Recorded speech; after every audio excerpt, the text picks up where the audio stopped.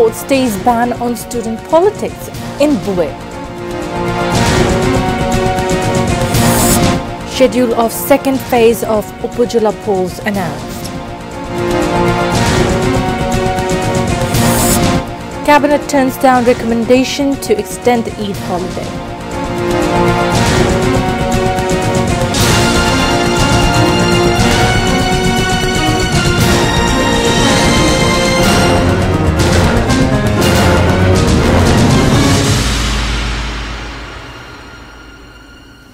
Those were the headlines. This is ATN News. Good evening, viewers. I'm Nafisa Nawal with English Bulletin. The High Court has stayed the decision of banning student politics in Bangladesh University of Engineering and Technology, BUET. A dual bench of High Court comprising Justice Muhammad Khosruzzaman and Justice K.M. Jahid Sarwar gave the stay order after a hearing on the writ on the issue on Monday. The writ was filed challenging the legality of the gazette that banned all sorts of politics on Buet campus. Buet student and Chhatra League leader Imtiaz Hussain filed the writ against the emergency gazette of the Buet authority issued on October 11, 2019. Recently, Buet campus has become restive and general students started demonstration against the entry of Chhatra League leader on the campus. The general students also placed six-point demand. Buet is obliged to follow the order of the court. Vice Chancellor of Bangladesh University of Engineering and Technology Buet, Shotto Prasad Mujumdar made the remark on his reaction to High Court order that stayed the ban on student politics on Buet campus on Monday. The VC said the general students are against student politics on the campus as they are yet to overcome the fright caused by murder of Abrar. Earlier, former students of Buet met the Vice Chancellor asking him to reintroduce student politics on the campus. They also demanded bringing those to book who are hindering academic activity of Buet. In reply, the Buet VC said he will make decision on reintroduction of student politics, talking to all quarters.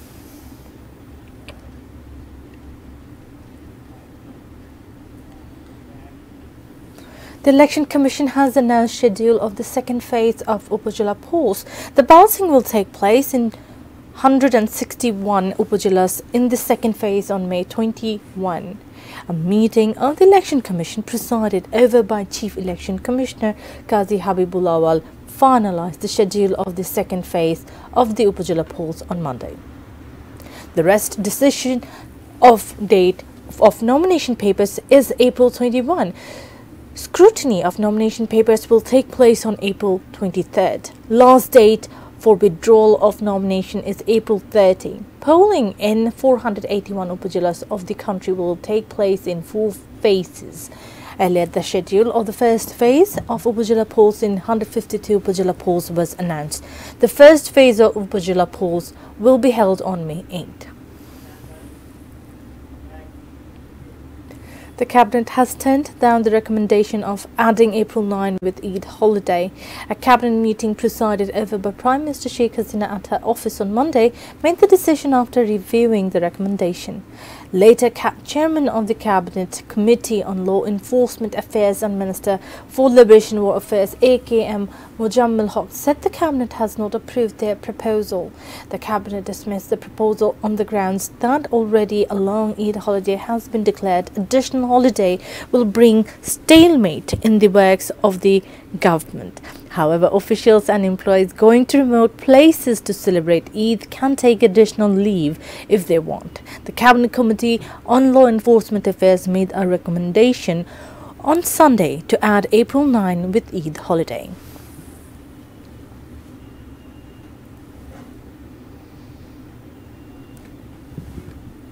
Now a short break we will be back soon with. Israeli army ends Al-Shifa hospital siege. Sri Lanka take 455 run lead in Chattogram test.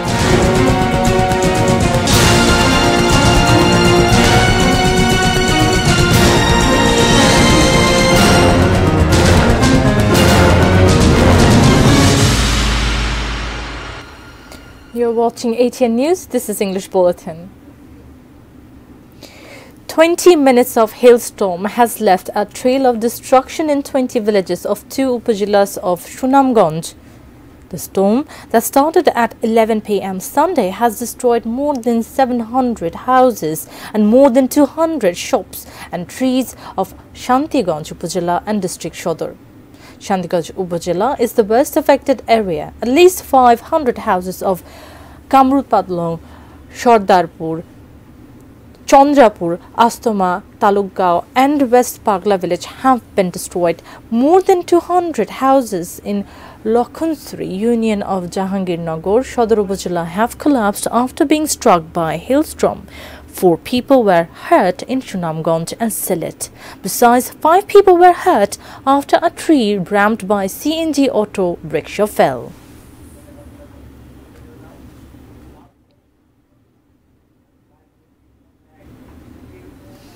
News around the world.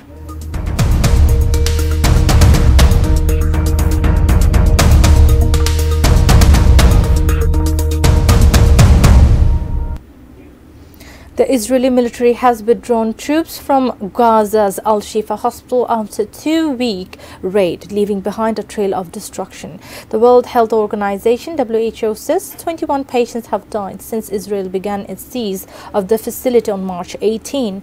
At least four people were killed in an Israeli air attack on the courtyard of Al Aqsa Hospital in central Gaza. According to WHO, at least 32,782 Palestinians have been killed and 7 55,298 wounded in Israeli attacks on Gaza since October 7. Meanwhile, tens of thousands of Israelis have been taken to the streets of Tel Aviv condemning the government of Prime Minister Benjamin Netanyahu and demanding an immediate deal for the release of captives. Turkey's main opposition party retained its control over key cities and made huge gains elsewhere in Sunday's local election. In a major upset to President Recep Tayyip Erdogan, who had set his sights on retaking control of those urban areas. With more than 90% of ballot boxes counted, incumbent Istanbul Mayor Ekrem İmamoğlu of the Republican Party's party, or CHP, was leading by a wide margin in Turkey's largest city and economic hub. According to the state-run Anadolu agency, Mansur Yavaş, the mayor of the capital Ankara, retained his seat with a stunning 20 point, 25 point difference over his challenger, the results indicated. In all, the CHP won the municipalities of 36 of Turkey's 81 provinces, making inroads into many strongholds of Erdogan's party. It gained 37% of the votes. Nationwide, compared to 36% of the president's party, marking the CHP's greatest electoral victory since Erdogan came to power two decades ago. Now, sports news.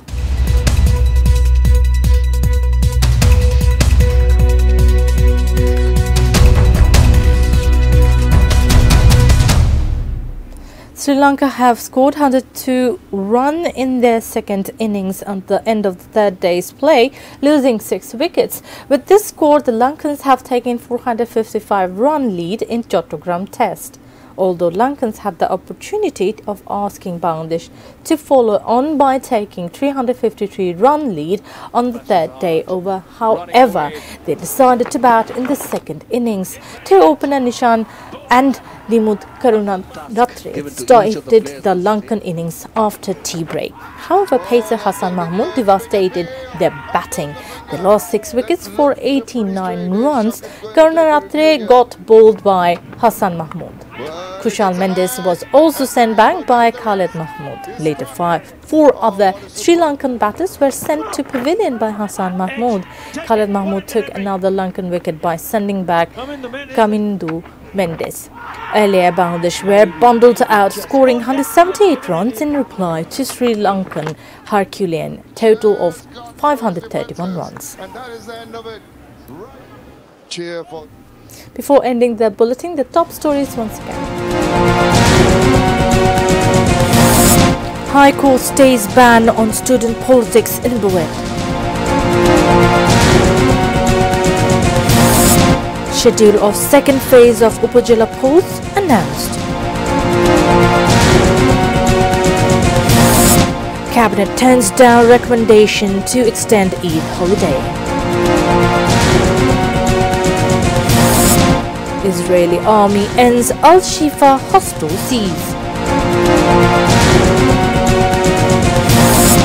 Sri Lanka take 455 run lead in Chattogram test. That's all from the newsroom for the moment. Thank you for being with us.